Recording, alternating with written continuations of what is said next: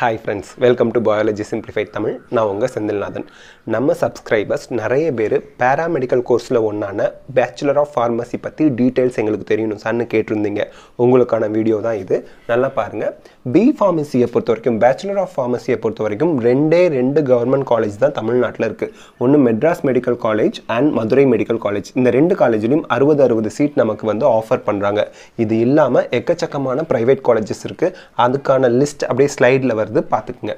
Okay government காலேஜ்லேயோ private காலேஜ்லேயோ நீங்கள் கவுன்சிலிங் மூலியமாக அட்மிஷன் கிடச்சி போனீங்க அப்படின்னா கவர்மெண்ட் காலேஜில் ஃபீஸ் பர் இயர்க்கு ஆயிரத்தி இரநூறு ரூபாய் மட்டும்தான். தௌசண்ட் டூ ஹண்ட்ரட் ருபீஸ் மட்டும்தான். அதே ப்ரைவேட் காலேஜில் கவுன்சிலிங் மூலியமாக நீங்கள் போனீங்கன்னா twenty eight thousand rupee per year நீங்கள் பே பண்ணணும் இன்கேஸ் நான் கவுன்சிலிங்லலாம் போகலை இல்லை கவுன்சிலிங்கில் எனக்கு சீட் கிடைக்கலனா பியூர் மேனேஜ்மெண்ட் கோட்டாவில் நீங்கள் போய் ஜாயின் பண்ணலாம். அப்படி ஜாயின் பண்ணுறதுக்கு நீங்கள் ஒன் டு டூ லேக் கட்டணும் அப்படின்னு நிறைய சோர்சஸில் சொல்கிறாங்க எக்ஸாக்ட் ஃபீஸ் தெரியல. ஆனால் minimum one lakh per year or two lakh per year இருக்கலாம் அப்படின்னு நிறைய சோர்ஸஸ் நமக்கு கிடச்சிருக்கு. ஸோ அது நீங்கள் டைரெக்டாக போய் நீங்கள் என்கொயர் பண்ணி கூட தெரிஞ்சுக்கலாம். எந்த காலேஜில் ஜாயின் பண்ணணும்னு நினைக்கிறீங்களோ அந்த காலேஜுக்கே போய் என்கொயர் பண்ணிக்கலாம். நெக்ஸ்ட் அட்மிஷன் ப்ரொசீஜர் அப்படின்னு பார்க்கும்போது டுவெல்த் மார்க்ஸ் வந்து ஓப்பன் கேட்டகரியில் இருக்கவங்களுக்கு fifty percentage in physics chemistry biology இருக்கணும். அதே எம்பிசி பிசி கேட்டகரியில் இருக்கவங்களுக்கு ஃபார்ட்டி ஃபைவ் பர்சன்டேஜும் எஸ்சி எஸ்டி கேட்டகரியில் இருக்கவங்களுக்கு ஃபார்ட்டி பர்சன்டேஜும் மார்க் மினிமம் ஸ்கோர் பண்ணியிருக்கணும்.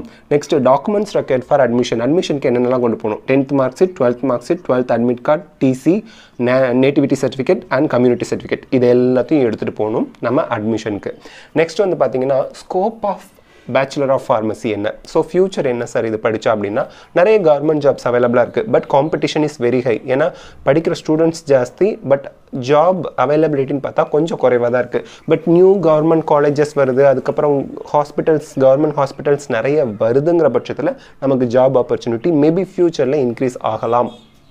வந்து பார்த்தீங்கன்னா கவர்மெண்ட் ஜாபை பொறுத்த வரைக்கும் பார்த்தீங்கன்னா ஹாஸ்பிட்டல் ஃபார்மசிஸ்ட்டாக நீங்கள் போகலாம். ஸோ அங்கே வந்து மெடிசன் ப்ரிஸ்கிரிப்ஷன் டாக்டர் கொடுப்பாரு. நம்ம வந்து அந்த மெடிசனை பார்த்து செக் பண்ணி கொடுக்குற ஹாஸ்பிட்டல் ஃபார்மசிஸ்ட்டாக போகலாம் ட்ரக் இன்ஸ்பெக்டராக போகலாம் கவர்மெண்ட் அனாலிட்டிக்கல் லேபில் நம்ம லேப் அசிஸ்டன்ஸாக ஒர்க் பண்ணலாம். ஃபாரன்சிக் கவர்மெண்ட் லேப்லேயும் நம்ம அசிஸ்டண்ட்டாக ஒர்க் பண்ணுறதுக்கு ஜாப் அவைலபிலிட்டி இருக்குது லெக்சரர்ஸ் அண்ட் டெமான்ஸ்ட்ரேட்டர்ஸாகவும் நம்ம போகலாம் சரி இதுக்கான சேலரிலாம் வந்து பார்த்தீங்கன்னா twenty five thousand rupees twenty five thousand ஆரம்பிச்சு ருபீஸ் ஃபிஃப்டி தௌசண்ட் வரைக்கும் starting சேலரியே depending upon the job salary அவங்க கொடுக்குறாங்க.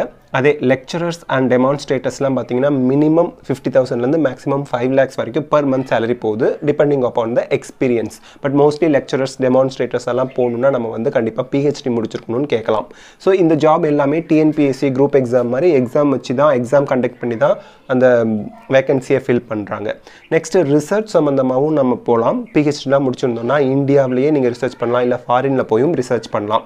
ரிகார்டிங் ட்ரக் ட்ரக்ஸ் அதே மாதிரி ஃபார்மசிட்டிக்கல் மார்க்கெட்டிங் அப்படின்னு பார்க்கும்போது நம்ம நார்மலாக இருக்கக்கூடிய மெடிக்கல் ரெப்ரசன்டேட்டிவ்லேருந்து ஒரு ஹாஸ்பிட்டலில் போய் ஒரு நம்ம மெடிக்கல் ஷாப்பை போய் நிர்வகிக்கிறதுலேருந்து இல்லை நம்ம ஓன் மெடிக்கல் ஷாப் வைக்கிறதுலேருந்து இல்லை ரீட்டைல் ஷாப் வைக்கிறதுலேருந்து எல்லாத்துக்குமே நமக்கு வந்து எலிஜிபிலிட்டி வந்துடும் அதே மாதிரி ப்ரொடக்ஷன் ப்ரொடக்ஷன் யூனிட் கூட நீங்கள் நடத்தலாம். ஃபார் எக்ஸாம்பிள் ஒரு பர்டிகுலர் மெடிசனுக்கு தேவையான மாலிகூல்ஸை ப்ரொடியூஸ் பண்ணுற ஸ்மால் யூனிட் வச்சு நீங்கள் நடத்தலாம். So these are are the scopes of bachelor of pharmacy so இந்த வீடியோவில் நமக்கு வந்து பேச்சுலர் ஆஃப் ஃபார்மசி பற்றின டீட்டெயில்ஸ் பார்த்துருக்கோம். அது மட்டும் இல்லாமல் இன்னும் இந்த கவுன்சிலிங்க்கான டேட் இன்னும் அறிவிக்கல.